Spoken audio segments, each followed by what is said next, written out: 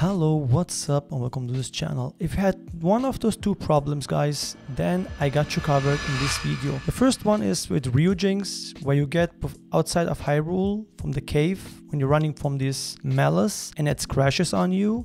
The second problem is with Sudachi. If you played on Sudachi or Yuzu, it's the same emulator. Uh, you get this glitch when you go to, when you come to the first village. I'm gonna tell you what the fix is really quick, but I want to point out that if you had an early version of after Legend of the Ashes of Wisdom, uh, NSP, it's 100% NS, NSP file, then you probably got this problem. Uh, it could be corrupted, it could be a virus, and it could be even spyware that anybody is actually spying on you, taking your information, even open your webcam, you have a webcam and watching you right now. Don't get uh, paranoid, I'm just saying. And if this is the case for you guys, I really, really, really want to point out that you go directly to your phone because people can emulate on a phone or on a PC, delete this file, get get done with it. Don't think like don't risk it. Don't just don't risk it, guys, because you got the game for free. I personally do dump my games. I take them for my friends. I dump them on my hacked Switch, and I'm good to go. Anyways, guys, don't want to drag too much out. Just for your own safety, guys. I'm just saying. The fix for it, guys, is really easy. Um, go and get the game wherever you from, from wherever you gonna get it. I don't judge. Get it an XCI file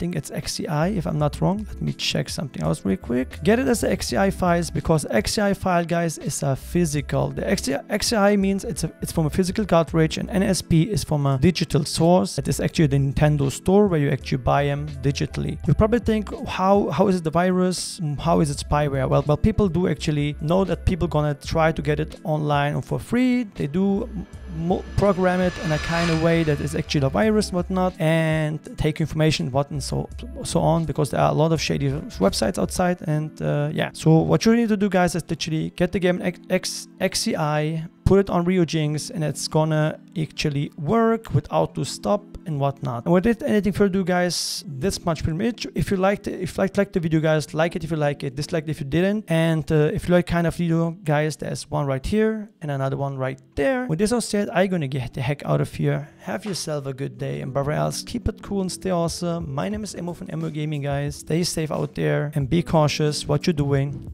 And I'm out of here. Peace.